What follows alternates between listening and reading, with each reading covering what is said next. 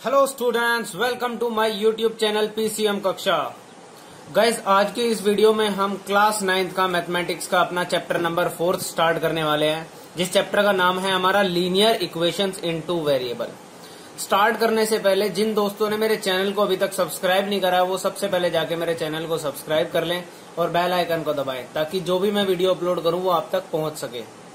Guys देखो, ये हमने चैप्टर का नाम है हमारा linear equations in two variable अब इसके नाम से ही हमारे को ना बहुत सारी चीज़ें मिल रही हैं। सबसे पहले हमारे को क्या चीज़ देखने को मिली कि लीनियर लीनियर का मतलब क्या होता है? सिंगल यानी कि वन लीनियर का मतलब क्या होता है? वन इसका मतलब ये वन है ना, कहीं ना कहीं तो रोल प्ले करने वाला है। इक्वेशन बनने वाली है हमारी इस चैप्टर के अंदर।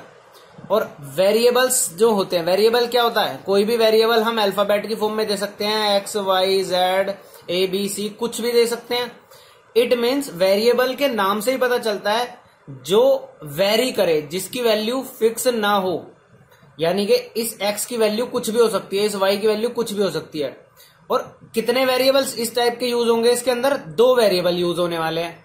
सो so, हमारे को इस चैप्टर के नाम से कुछ कुछ आइडिया लग गया। कि हमारे को ना इस चैप्टर में इक्वेशंस की स्टडी करनी है।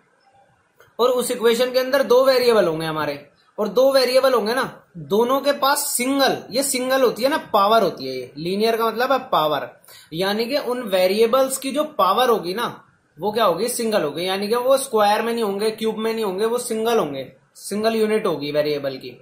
सो so, बेसिकली जो हमारे linear equation in two variables होते हैं इसकी जो हमारी जनरल फॉर्म आती है, देखो क्या आती है हमारी जनरल फॉर्म जनरल फॉर्म हो गई हमारी a x plus b y plus c is equal to zero ये हमारी क्या हो गई? इसमें जनरल फॉर्म हो गई।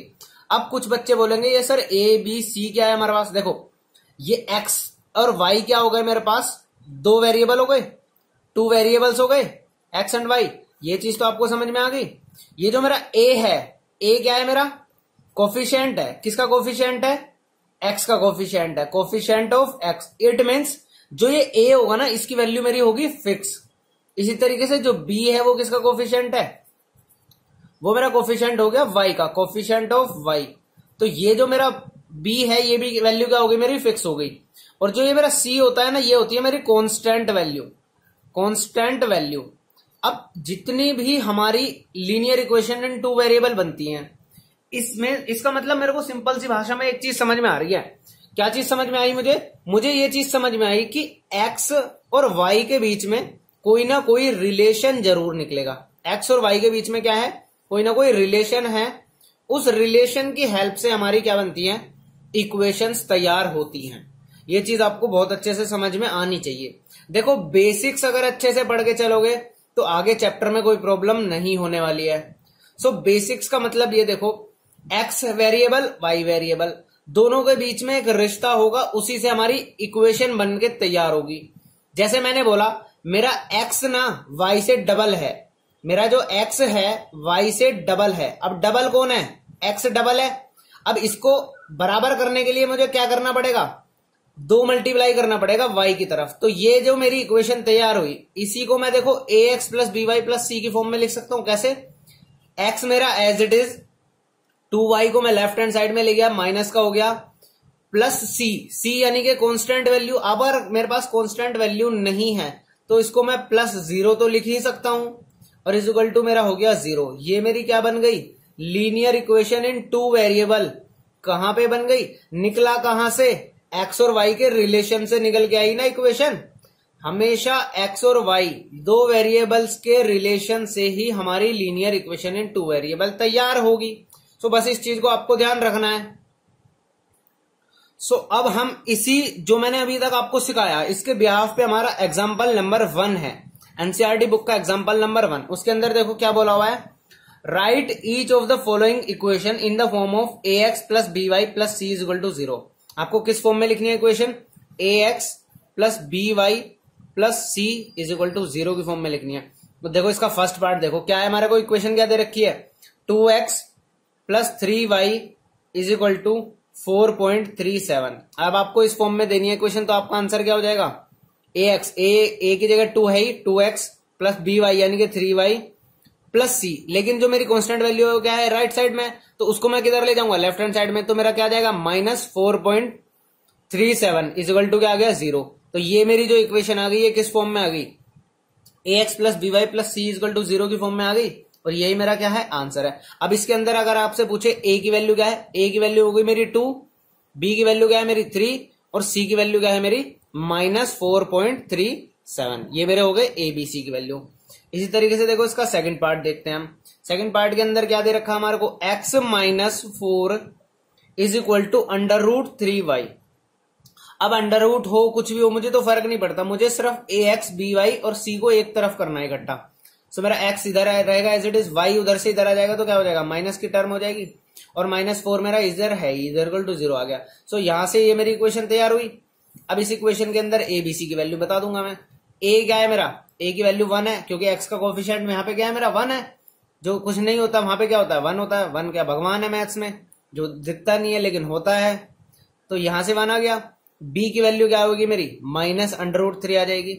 सी की वैल्यू क्या आ जाएगी मेरी? माइनस का फोर आ जाएगी। तो ये चीज़ आपको बहुत अच्छे से समझ में आ गई होगी।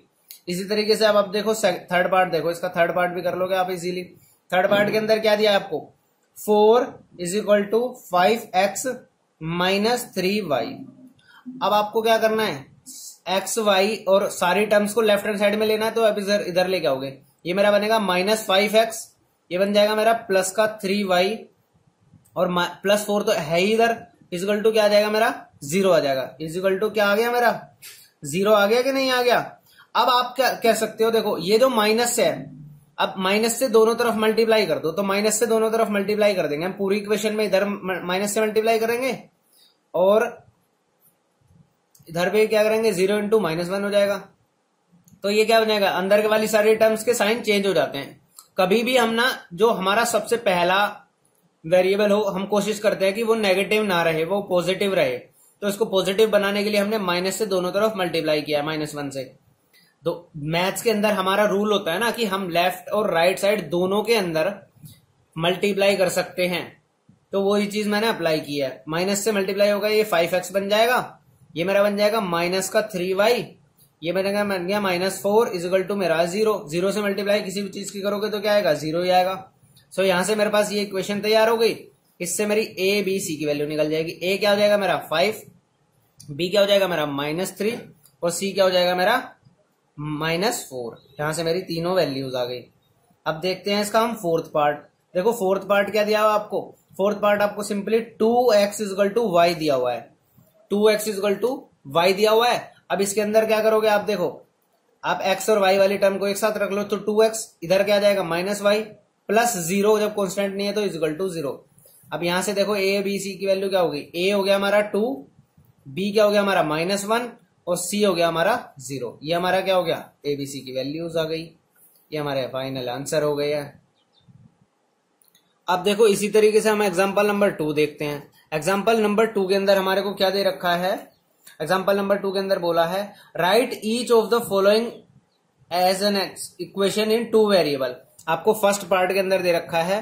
एक्स इज़ इक्वल टू आपको दे रखा है हमारा। एक्स की वैल्यू क्या दे रखी है? माइनस फाइव दे रखी है। अब आपको एक्स की वैल्यू तो माइनस फाइव दे रखी है। तो अब आपको इस इक्वेशन को किस फॉर्म में करना है? टू वेरिएबल्स की फॉर्म में। तो देखो एक्स के आगे तो वन है ही। तो यानी कि मैं इसको वन एक्स लिख सकता हूँ। इसके अंदर ज़ीरो वाई है ही नहीं तो मैं क्या लिख सकता हूँ? इसको ज़ीरो वाई लिख सकता हूँ। और मेरा जो सी है, इसको मैं क्या लिख सकता लेफ़्ट साइड में ले आऊँगा तो क्या जाएगा मेरा? Plus five is equal to zero तो ये मेरी क्या फॉर्म आ गई? A x plus b y plus c वाली फॉर्म नहीं आ गई। और एक्चुअली में ये क्या है? X is equal to minus five ही रहा। तो ये मेरा हो गया क्या? आंसर हो गया इस क्वेश्चन का। ऐसे ही देखो सेकंड पार्ट सेकंड पार्ट के अंदर क्या बोला हुआ है? सेकंड पार्ट के अंदर देखो मेरे को बोला हुआ है y is equal to two है मेरे पास। y is equal to two के लिए क्या है? X की वैल्यू x के आगे क्या कोफिशियंट रहा होगा? ज़ीरो तो मैं क्या लिखूँगा सबसे पहले? Zero x plus one y और ये टू मेरा लेफ़्ट हैंड साइड में लेके आऊँगा तो minus two is equal to क्या आ जाएगा मेरे पास? ज़ीरो आ जाएगा ये भी। तो ये भी मेरा हो गया। ऐसे देखो थर्ड थर्ड के अंदर क्या दे रखा है मेरे को? Two x is equal to three दिया हुआ है मेरे को। y वाली टर्म ज़ीरो तो two x plus zero y minus three is equal to zero ये मेरा क्या आ गया? थर्ड पार्ट का आंसर आ गया। इसी तरीके से फोर्थ पार्ट देखो मेरा। फोर्थ पार्ट क्या बोल रहा है मेरा? Five y is equal to two x वाली टर्म है ही नहीं तो क्या हो जाएगा मेरा? Zero x plus five y is equal to क्या आ जाएगा मेरे पास? सॉरी मैं लेफ़्ट हैंड साइड में ले आऊँगा इसको तो क्या आ जाएगा? Minus two is equal to मेरा आ गया ज़ीरो। तो ये भी मेरा क्या आ गया? A x plus b y plus c की फॉर्म में आ गया। और इसके साथ हमारी ये ये वाला कंसेप्ट हो गए खत्म।